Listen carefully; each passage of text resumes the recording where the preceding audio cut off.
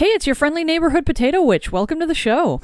My history as someone who has played a lot of RPGs is one that also involves a lot of level grinding. Not always out of necessity either due to a game's inherent difficulty. No, sometimes I just enjoy being overpowered as hell, and so I go out of my way to make sure this happens. Sometimes power is just a nice side effect of doing something else that's needless for a certain point in the game, like making sure I can buy the lifetime pass the very first time I go to the Gold Saucer in Final Fantasy VII. Don't judge me. Given that I really enjoy this process when it's done voluntarily, what could appeal to me better than bonus dungeons? Those optional areas in RPGs that are usually difficult grind fests that test the player's tenacity and often reward them with powerful items. Seriously, I love me a good bonus dungeon, and finding out that a game has one usually brings a smile to my face because I'm that kind of masochist. So, today I want to talk about my top 7 favorite bonus dungeons in RPGs. These aren't in any particular order, really, and full disclaimer, these are my favorite bonus dungeons. Doesn't mean they're objectively the best, doesn't mean they have to be everyone's favorite, but they're definitely my favorite. So, sit back, relax, and enjoy this video filled with the parts of video games that I think only a particular kind of weirdo really enjoys. Number 7. The Sealed Temple from pretty much every edition of Final Fantasy V from the Game Boy Advance onward. As I said, this list isn't in order of preference, so the only reason I'm mentioning this one first is because I'm currently playing through Final Fantasy V for an upcoming video. The Sealed Temple is an underwater dungeon that first appears towards the end of the game. You can go into it and collect some crystal shards that unlock a few new jobs, which may or may not be useful depending on your playstyle, but if you're going for 100% completion, then yeah, gotta do this. But that's really all you can do there. For now.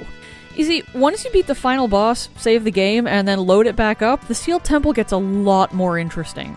The whole dungeon is split into multiple different areas, and it's pretty vast. There are a lot of boss fights down here if you're looking for an extra challenge to test your skills, some equipment that you can't find anywhere else, and that are, of course, better than anything you could get elsewhere, and most importantly, a final super boss that was mentioned in the main game, one you were told was dead, but whoopsie, turns out he's been sealed away here this whole time. Now get to the killing! Beating this guy gives you access to yet another job class, which again is necessary for 100% completion. Getting through everything that the Sealed Temple has to offer is a test in both patience and how many powerful healing items you stocked up on.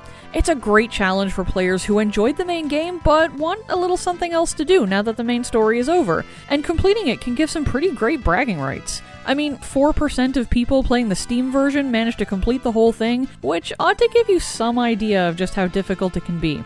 But it does yield some great rewards if you're willing to put yourself through it. Number 6.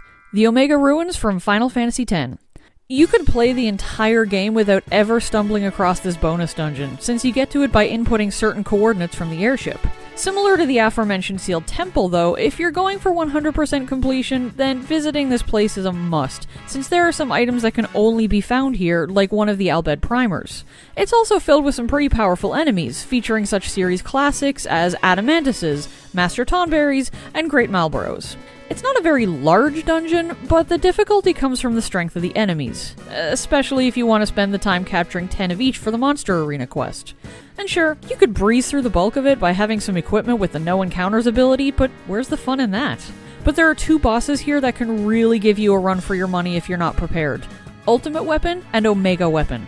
If you're playing the original PS2 version of the game, Omega Weapon is tough, sure, but for the HD re release, they apparently decided, nah, changes so that players will want to pull their hair out over the difficulty.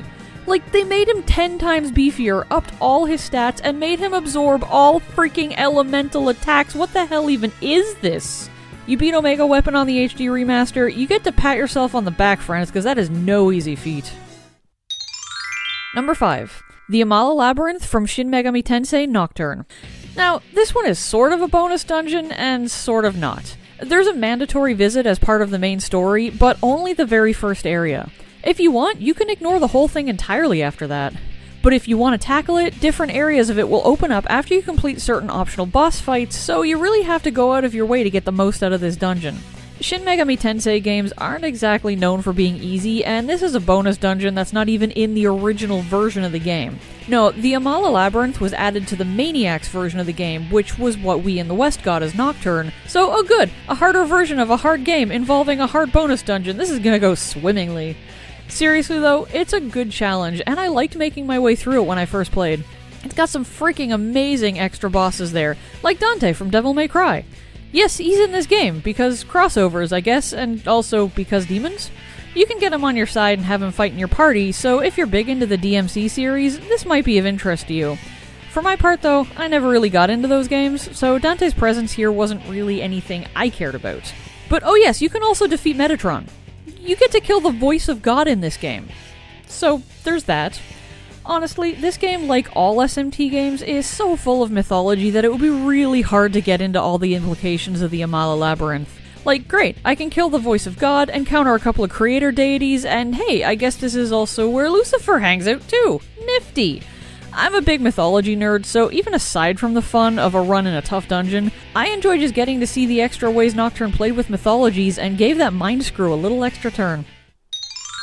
Number 4. The Eternal Corridor from Jade Cocoon.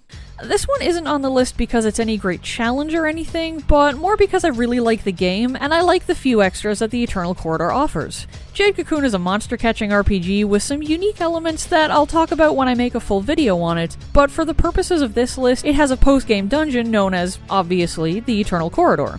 And it's kind of what it sounds like. Mostly.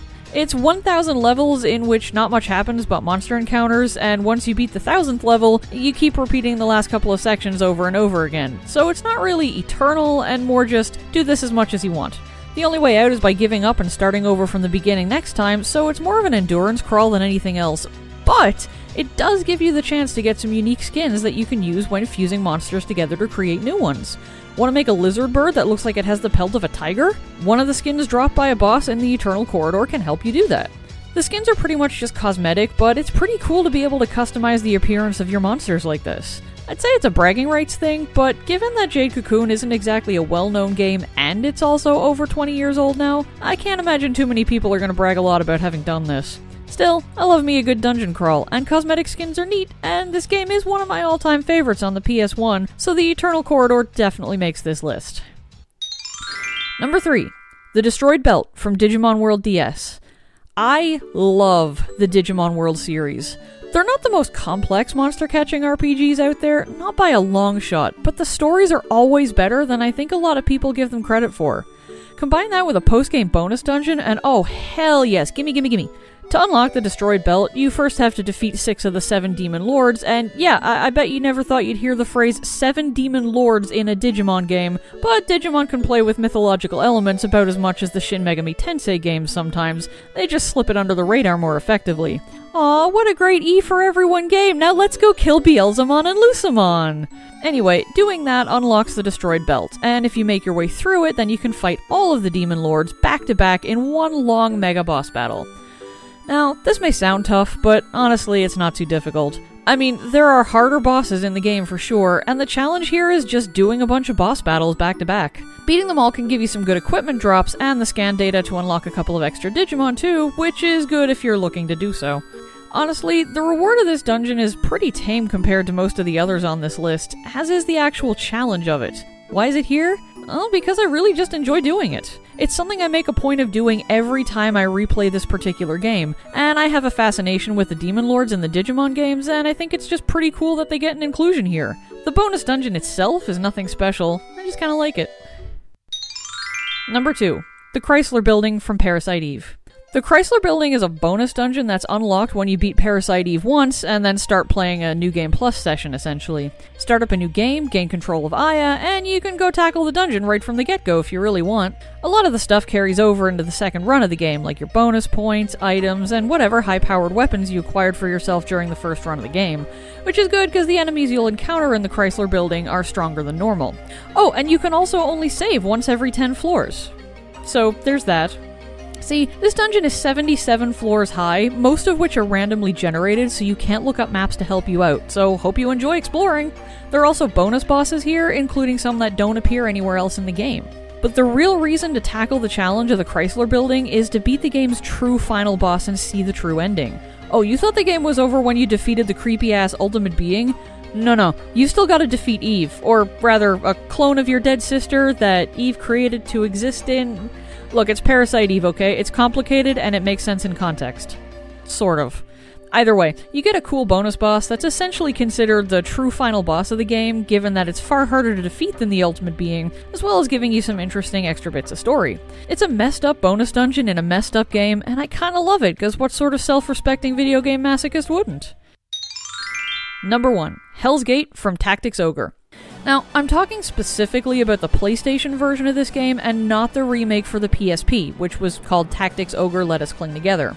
And I'm talking about this version for a specific reason, which I'll get to in a minute. See, Hell's Gate is a late game optional dungeon that's 100 floors deep, which means 100 battles in a turn based strategy RPG. In a row. No healing in between. Leave the dungeon and you'll be starting from the beginning next time you go in. In a game genre that's already known to be difficult, and with a game series that's already known to be difficult, a 100 battle endurance crawl is a big ask. Plus, you have to do the whole thing at least twice if you want to get all that this dungeon has to offer. Now, why am I talking about this dungeon and not the one that's in the remake, which is renamed the Palace of the Dead? Well, the dungeon in the remake may have extra floors added to it in the post game, making it even more of an endurance run and giving extra content, but that version also has items that can allow you to skip multiple floors of the dungeon. It bypasses a lot of the tedium of redoing, you know, dozens of levels again and again if you just want to get to certain areas, and believe me, that is a great option to have, but there's something about the demand of having to do a 100 level dungeon crawl twice with no skips that feels more raw, more I don't know how to describe it without making it sound like I think people who didn't skip the levels are somehow better players than the one who did, because that's not what I'm trying to say at all, but I guess I just appreciate the additional challenge of having to do it the hard way and not having those skips available. I've always been the sort to enjoy challenges like this in RPGs, and knowing that I could just skip over things to make it more convenient is great, as I said, but it ruins some of the challenge aspect for me. Again, I want to reiterate that if players want to use such things to bypass tedium, more power to you. This is just a list of personal preferences at the end of the day, and my preference goes to Hell's Gate in the original game. So there you have it, my top favorite bonus dungeons in RPGs. Chances are I missed someone's favorite on here, since there are a lot of RPGs with some great bonus dungeons out there, but I didn't feel it was fair to include any from games that I haven't actually played. Hopefully someday I'll get a chance to play more and expand my list, and who knows, maybe in the future I'll revisit this concept and make a second video covering more cool bonus dungeons. Thanks to everyone for watching me ramble on about some of the cool stuff I love in video games. Let me know in the comments what's your favorite bonus dungeon from an RPG, and if you want to support the channel, feel free to leave a like or share this around or something of the sort. It really means a lot. Take care, and I'll see you all again soon with another video. Bye!